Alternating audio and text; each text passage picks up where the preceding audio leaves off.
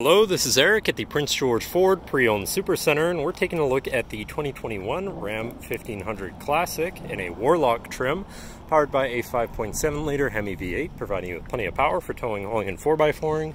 Coming with steps down below so you can have an easier time getting in, as well as mud flaps on the front and rear. Let's take a look inside. Looking into the back seat where you have comfortable seating for three that can be lifted up and out of the way to accommodate any other cargo. And you have a fold-out cargo platform as well as compartments underneath for more storage.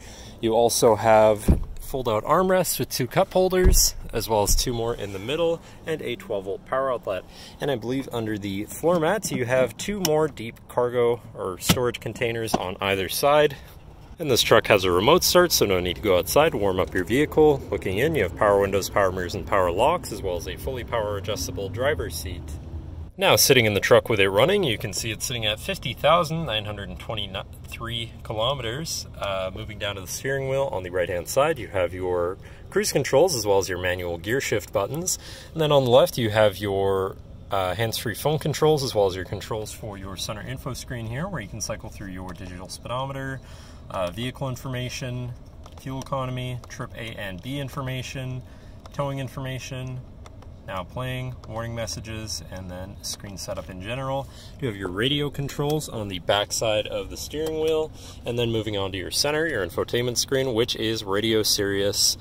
Uh, Bluetooth, auxiliary, and USB capable, so you have plenty of options there. You have your digital climate controls with dual zone front climate, and your other controls such as your heated front seats and steering wheel uh, apps, so basically just all your controls in one place for easier access, and then navigation, so you're hopefully not going to get lost phone controls, and then settings for your screen and some other features around your vehicle. Shifting into reverse, you have a backup camera so you can see where you're going.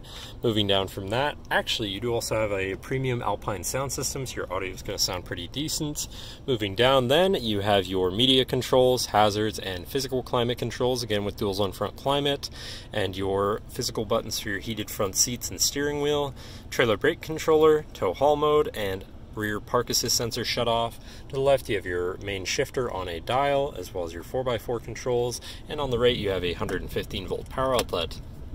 Moving on, you have your center console area here with two cup holders, uh, phone clips, as well as a 12 volt power outlet, and your center compartment slash armrest with uh, two USBs and auxiliary inside for your audio. And then this opens up again for a much larger compartment for storage.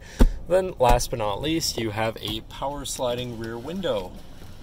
But that should cover our look at the interior. So now if you're interested, come visit us at Prince George Ford, pgford.ca, or call 250-563-8111 and have a nice day.